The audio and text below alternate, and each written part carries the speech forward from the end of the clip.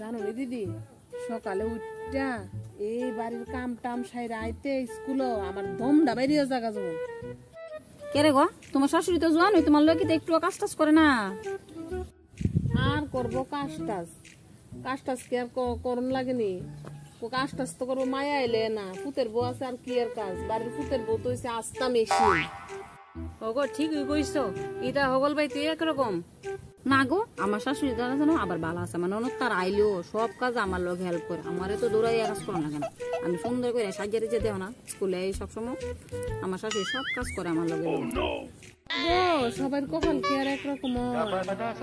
জানো আমার শাশুড়ি না ইহানো দুব্বাটা ইহানো নেই না। সব কাম আমারই করন লাগে। সময় মতো খাওয়ানোর বেলা টাইম পাই না। দেহ না আমার চেহারা আডি টুটি দেহ না বাইরে দিয়ে কি তুই রয়েছে ওগো আর স্কুল হইছে আর এক নমুনা।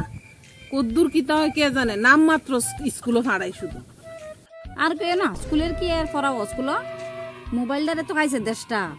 স্যার তার এমন লাগে যে মোবাইলটা যখন বাড়ির বউর কাছে দিয়ে রাখে আর স্কুল আয়া যে মোবাইল দেওয়া শুরু করে ফুলা ফান্ডে পড়াইতো স্কুল মোবাইল এনে দেখতো আয়ে।